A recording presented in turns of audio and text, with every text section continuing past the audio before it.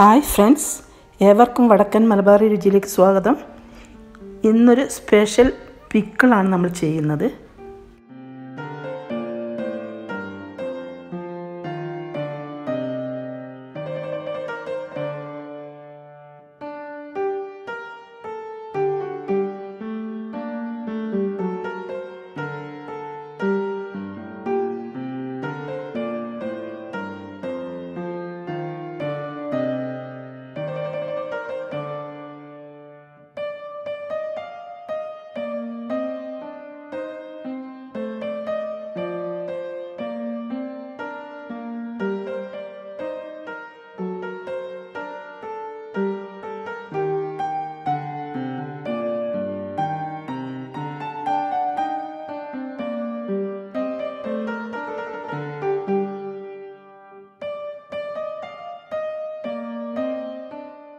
Grilled fish pickle അതായത് ചുട്ട മീൻ കൊണ്ട് അച്ചാർ.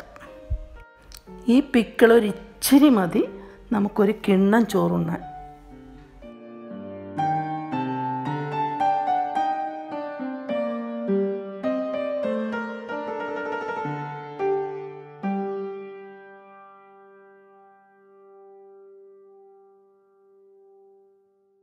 അപ്പോൾ പ്രിപ്പറേഷൻ തുടങ്ങാം അല്ലേ?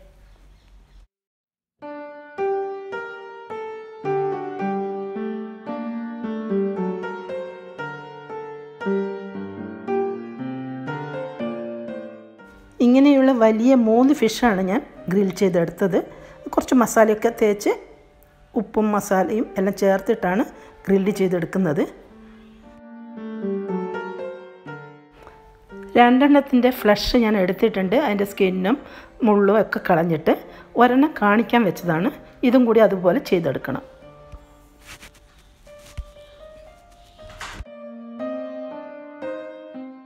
അവന്റെ ഗമയിലുള്ളൊരു കിടപ്പ് കണ്ടില്ലേ? നമുക്കിപ്പോൾ അവനെ നട്ടൽ ഊരിയെടുക്കാം. അയ്യോ ആ പാവത്തിന്റെ നട്ടെല്ലാം ഞാൻ ഊരിയെടുത്തിട്ടുണ്ട്. ഇനി നമുക്ക് പീസ് പീസാക്കി എടുക്കണം.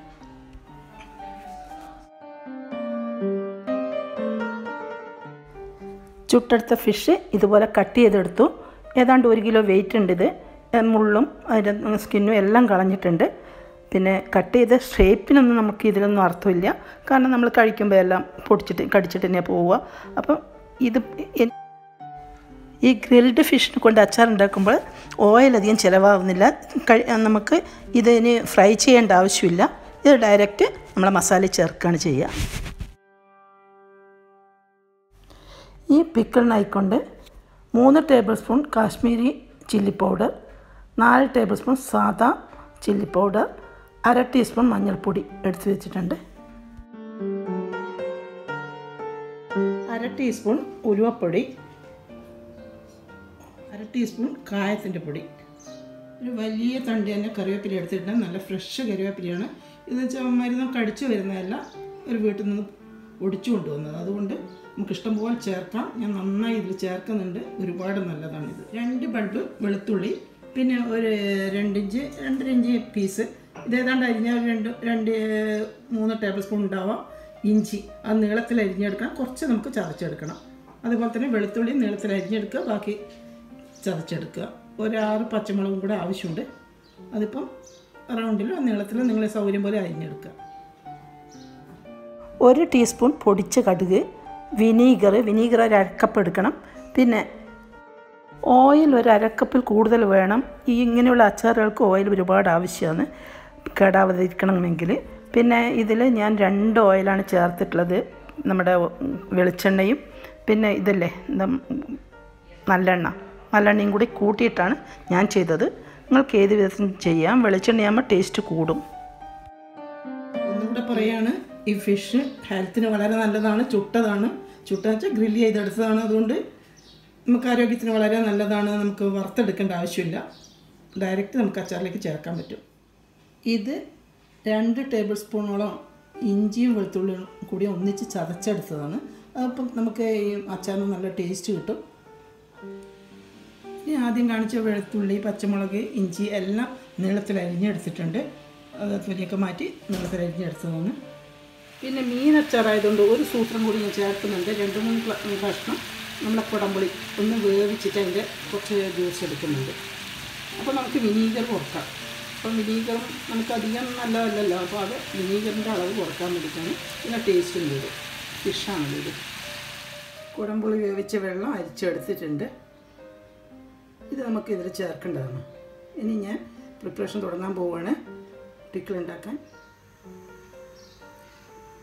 നമ്മൾ കടായി വെച്ചിട്ടുണ്ട്. ചൂടാകുമ്പോൾ ഞാൻ വെളിച്ചെണ്ണയാണ് ഒഴിക്കുന്നത് ആദ്യം. കുറച്ച് ഇതിന് ഓയിൽ കൂടുതൽ വേണം. പിന്നെ നമുക്ക് നല്ലെണ്ണ ഇഞ്ചി ചേർക്കുന്നുണ്ട്. ഓയിൽ നന്നായി ചൂടാകുമ്പോൾ നിറയെ ഞാൻ കറിവേപ്പില ഇടുന്നുണ്ട്.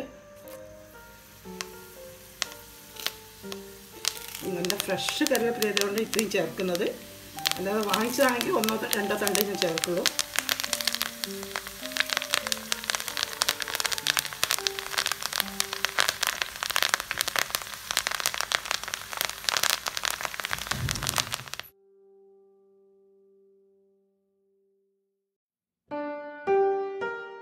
ഇതിലോട്ട് ജിഞ്ചർ ഗാർലിക് ഗ്രീൻ ചില്ലി ചേർത്ത് കൊടുക്കുന്നുണ്ട്.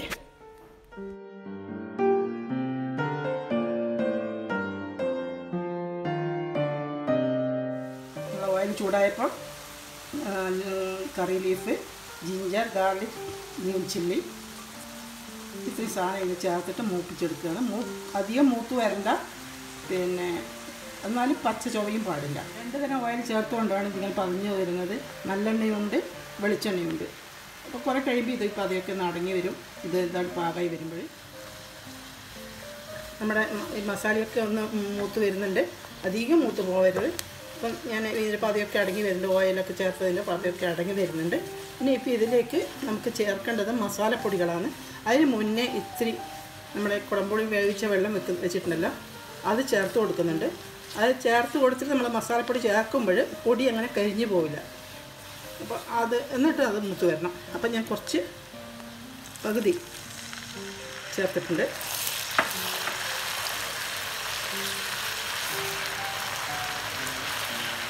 ഇനി ഇതിലേക്കാണ് ഞാൻ മസാലപ്പൊടികളെല്ലാം ചേർക്കാൻ പോകുന്നത്.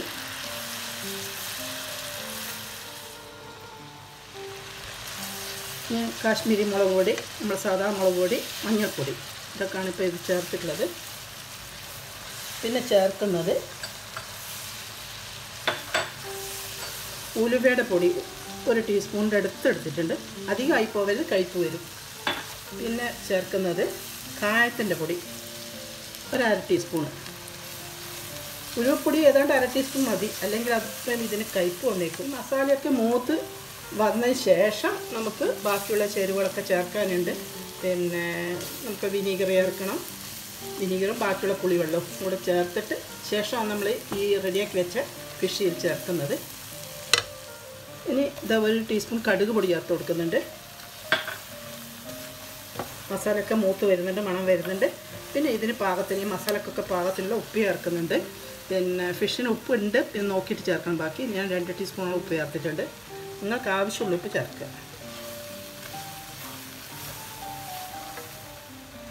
ഇത് ബാക്കിയുള്ള പുളിവെള്ളം കൂടി ചേർക്കുന്നുണ്ട്. പിന്നെ ഇനി വിനീഗറും കൂടിയുണ്ട്. ഇതുവരെ അര ഗ്ലാസ് വിനീഗറാണ് ചേർത്തിട്ടുള്ളത് നമ്മൾ പുളിവെള്ളം ചേർത്തുകൊണ്ട് വിനീഗറിന്റെ അളവ് കുറക്കാം. അല്ലെങ്കിൽ ഒരു കപ്പ് നിറയെ ചേർക്കണം. ഇത് നന്നായിട്ട് തിളച്ച് വരണം. ഒരു രണ്ട് മൂന്ന് മിനിറ്റ് നന്നായി തിളക്കാൻ വിടുക. ആ പച്ചമണമൊക്കെ മാറണം എല്ലാ മസാലയൊക്കെ ഒന്ന് നന്നായിട്ട് അതിനോട് മിക്സ് ആവണം. മസാല ശേഷമാണ് നമ്മളിനി ഫിഷ് ചേർക്കാൻ പോകുന്നത്. നമ്മുടെ മസാലയൊക്കെ റെഡി ആയിട്ടുണ്ട്.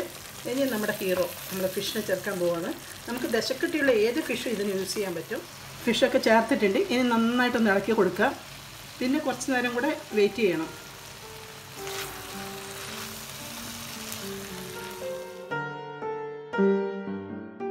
ഇതുപോലെ മസാലയിലേക്ക് ഫിഷ് നന്നായിട്ട് ഇളക്കി ചേർക്കുക. എല്ലാം നല്ലോണം യോജിച്ച ശേഷം ഒരു രണ്ട് മിനിറ്റ് കൂടി വെച്ചാൽ മതി. പിന്നെ നമുക്ക് ഗ്യാസ് ഓഫ് ചെയ്യാം.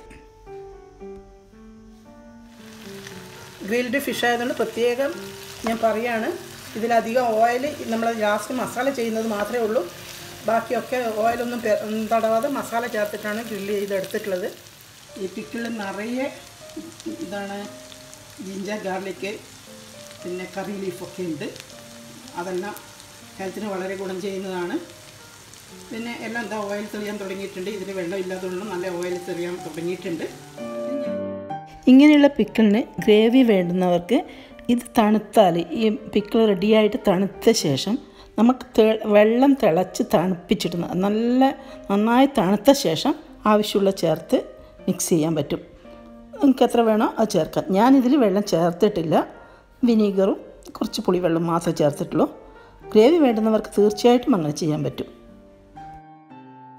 ടേസ്റ്റ് ചെയ്തപ്പോൾ അഥവാ പുളി കുറവാണെങ്കിൽ നിങ്ങൾക്ക് ഈ തിളപ്പിക്കുന്ന വെള്ളത്തിൽ കുറച്ച് വിനീഗറും കൂടെ ചേർക്കാം. വിനീഗറിന്റെ ഇത്തിരി ഉപ്പും കൂടെ ചേർത്തിട്ട് തിളപ്പിച്ച് നന്നായി തണുത്തതിന് ശേഷം ആവശ്യാർത്ഥം ചേർത്ത് കൊടുക്കുക. ഇതാ വെരി ടേസ്റ്റി ആയിട്ടുള്ള ഗ്രിൽഡ് ഫിഷ് പിക്കിൾ റെഡി ആയിട്ടുണ്ട്. നമ്മുടെ ചുട്ട മീനിന്റെ അച്ചാർ.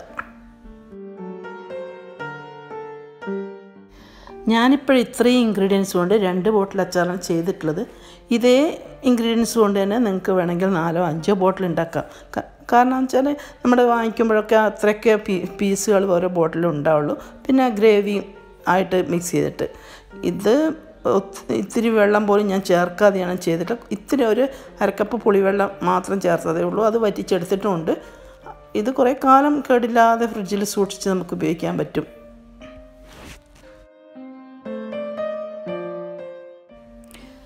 നമ്മുടെ പിക്കിൾ നന്നായിട്ട് തണുത്ത് വന്നിട്ടുണ്ട്. ഇനി ബോട്ടിലേക്ക് ഫില്ല് ചെയ്യാണ്.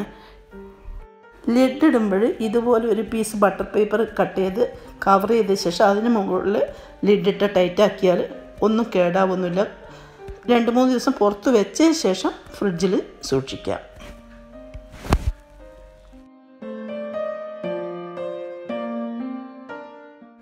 നിങ്ങൾക്ക് എന്റെ ഈ റെസിപ്പി ഇഷ്ടപ്പെട്ടുവെങ്കിൽ ലൈക്ക് ചെയ്യുക. ഫാമിലിക്കും ഫ്രണ്ട്സിനും ഷെയർ ചെയ്യുക. പിന്നെ സബ്സ്ക്രൈബ് ചെയ്യാത്തവർ ചെയ്യുക. Thank you for watching.